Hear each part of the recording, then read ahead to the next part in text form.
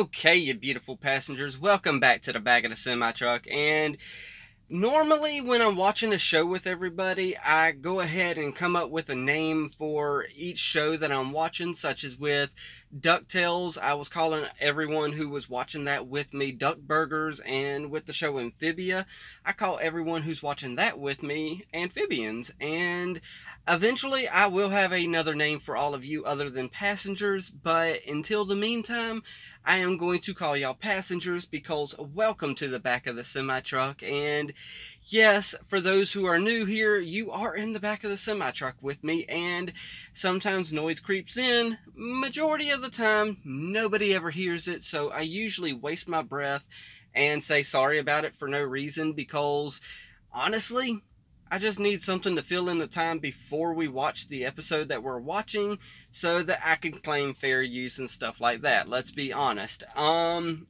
but speaking of fair use, yes, that was my way of transitioning into letting y'all know that these are edited reactions because the company that I believe that we are watching this from is DreamWorks and they are very, very, very quick with the little block hammer. So, unfortunately, just like with Disney and a few other shows that we, you know, watch around here, I am going to edit the episode down with the dead space and all that stuff. I'm sorry, but it is what it is. I have to do that. If I don't have a reaction to something, then I'm probably not going to put it in there. If I don't have nothing to say about a particular scene, I'm probably not going to put it in there. And unfortunately, I will attempt to, don't get me wrong, I'll attempt to upload it first without putting the blur effect over there. But more than likely, with this being a DreamWorks property, I'm going to have to put a blur effect on top of the episode. So, yes, these shows that I react to are definitely targeted towards people who have watched the episode and just want to get the perspective of somebody who has already seen the show. Not already seen the show, but somebody who's watching the show for the first time and they just want to see, you know, that person's perspective as they get to experience for the first time. So that's what we're about to do here. Kippa, Kippo, I think it's Kippo.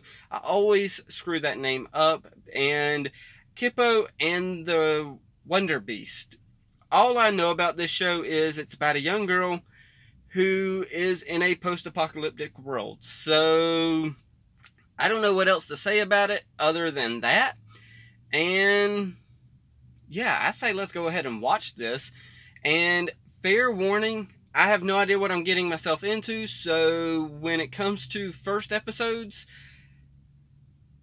I don't know what the reaction is going to be like. So earbuds are in though. So let's do this in three, two, one, and play. A Netflix original series. And we got a little piggy looking thingy. Yep, this is definitely DreamWorks. Hopefully this is reactor friendly.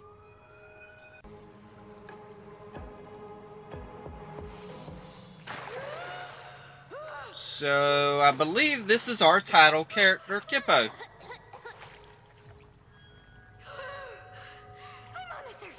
Oh. You don't go to the surface. Okay, so you were underground before. Wait, I can still see you. You can do this, Kipo. You Kipo. Humans live okay. on the surface for thousands of years. You can handle a few minutes up here. Oh, so... I I'll go ahead and say, this is already drawing me in quickly.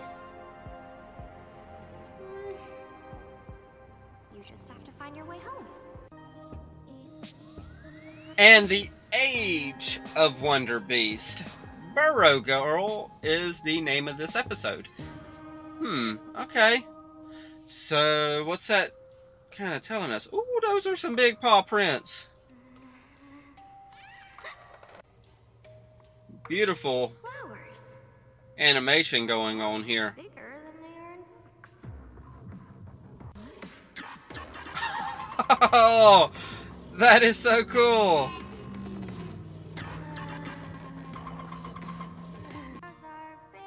Okay, so y'all know what guitars are in this world, so that's something interesting.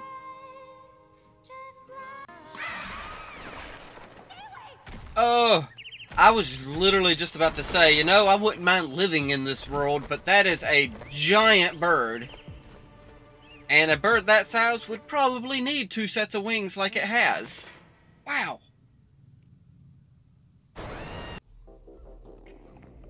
Who are you, little one? You're adorable. okay, so I'm presuming this is going to be our little sidekick, little pet type creature here. Which is going to be pretty cool. I'm a friend. I like cute animals. I don't care what they say, you're cute. Come with an extra pair of everything. Huh. So we're going through us a little clothing montage, which is fairly interesting. Okay. I somehow feel. oh my gosh.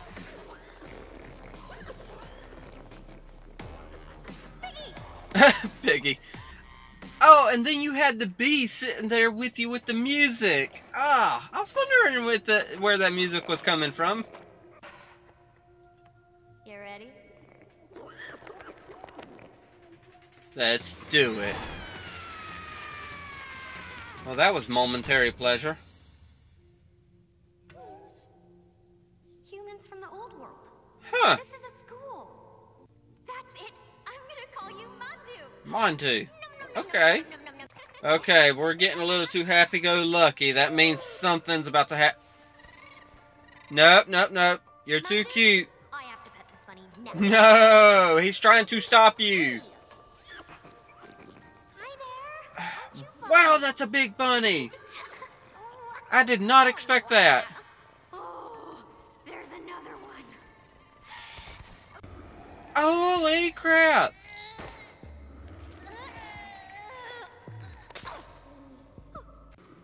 That is a lot of ears on that bunny.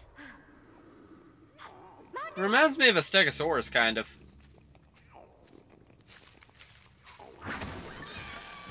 No!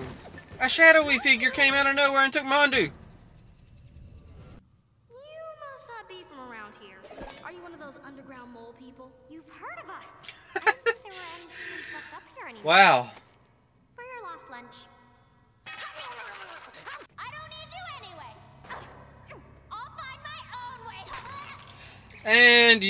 now trapped in a spider web with probably a giant spider. That's your last freebie. No, thank you. No hugging. I knew you were. Oh, she's gonna get that hug eventually. Hey, I just realized I don't know your name. No talk. Never actually seen it, but we use it as our city emblem. Ah, that's why you were wearing that jumpsuit that you were wearing For the night? at the beginning of the episode.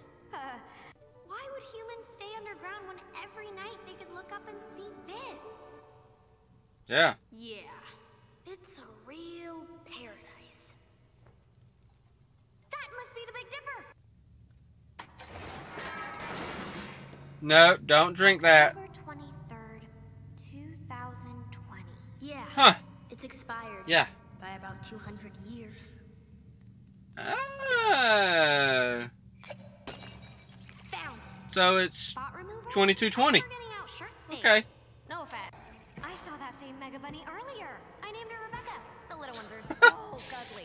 Okay. Touch the baby. I'm getting so many Star versus the Forces of Evil vibes from Kippo, No, you can't touch the baby. but I'm also getting other vibes as well. I'm not 100% sure which ones, but I'm getting a lot of vibes, and I really like her.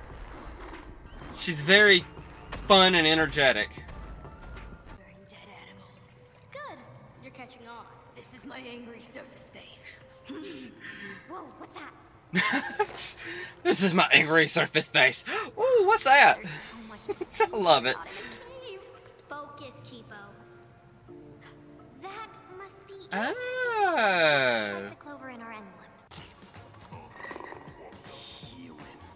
Ah. So that's why you asked if it talks. So that's how you defeat him? Get a stain on him? I've seen tons of talking frogs frogs before. That wear suits. Spot remover. Give it to me. Huh. You let us go. Look, this is my private office. Bunny hunter's right. Look more like a burrow girl to me. It is a burrow girl.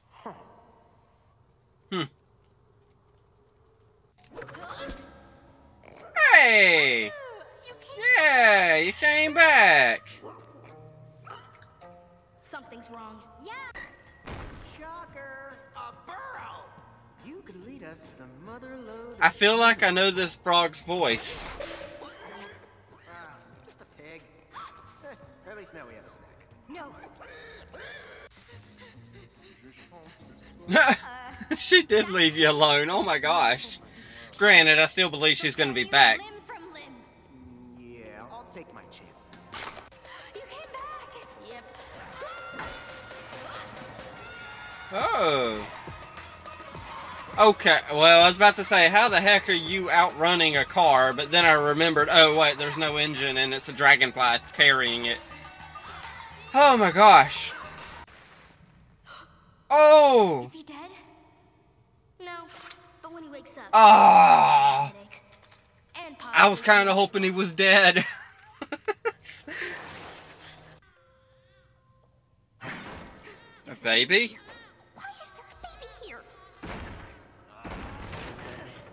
Is it a human baby? What kind of baby is this? I'll put him to sleep. There's a slight chance this will kill him. Not a human. A mutant? You gotta be kidding me. It's still a baby. Do you know any grub nursery rhymes?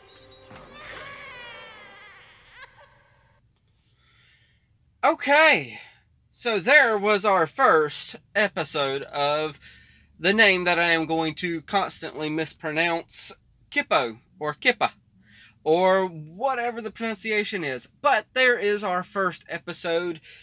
Great episode, great introduction to the characters. We got two main characters of Wolf and Kippa. Kippa is a very eccentric young lady who is just full of life and is just amazed at what's on the surface and just living life to its fullest. And I believe what's going to happen is she's going to bring a soft spot to Wolf eventually. I don't 100% like the character of Wolf, but I believe that, uh, well, I believe first off, we're obviously going to get a name for this character eventually, other than what Kippa named her, but I do think that she's going to grow on me after a while. I'm not 100% sure when, and I'm not 100% sure how fast I'm going to be watching this series, but I'm hoping, I am really hoping to make this one a weekly show from here on out. I don't know whether or not I'll be able to do that, but here very soon, I will be caught up 100% on RWBY, so I will be able to actually focus more attention on other shows. But nonetheless, back to this episode. This episode definitely gave a very good starting point. There in the middle, it kind of waned a little bit and it slowed down, but there at the beginning, it definitely did a good job immersing us into this world. It gave us a storyline to go with, like right there in the very first two minutes of the episode. We see this young girl there's you know she's just strode out there and just put out into the surface world and they live underground. So now our storyline is my father is worried sick so i've got to get back to the burrow so that's a very good starting point. We know what's going on.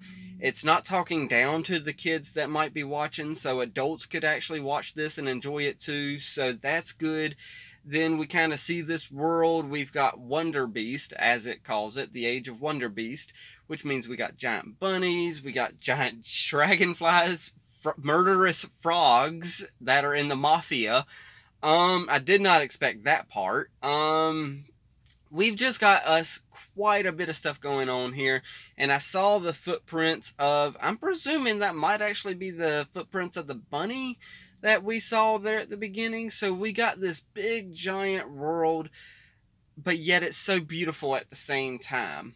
Um, we also got us a little you know, the animal companion friend that is pretty much a staple of every show slash movie. Um, so yeah, um, very, very good introduction. Very surprising how much that I actually enjoyed that. I thought it, I thought the first episode was going to be the hardest episode to react to because usually when I'm starting a brand new series, it's the first episode is always the most difficult. And the reason why it's always so difficult is because you don't know any characters, you don't know any story, you don't know anything about anything of anything of the show. But this one Im- immerses you so well inside of the world of the age of the Wonder Beast that it's like this is not difficult to understand what's going on. This is good stuff that we're seeing. We we got a couple characters that we like, and now we left on a cliffhanger. And I don't know when I'm going to get to the show again. Hopefully next week I will be getting to that. Um, I believe you know what. I better not say that. I was about to say, you know what? I'm going to start making you know, Wednesdays, Wonder Beast Wednesday or something like that. But you know what? I better not do that right now because I technically didn't make the update video that I need to make to explain that this show is coming to the channel. So, yeah, now it is my turn to sit back and figure out how exactly I've got to edit this episode and stuff like that because it's it, it, it's a DreamWorks property. So yeah, I'm gonna pass it off to y'all though. hit that like, tickle to subscribe. Don't be texting and driving. And as Mr. Rogers always says, and I like you as you are. I do.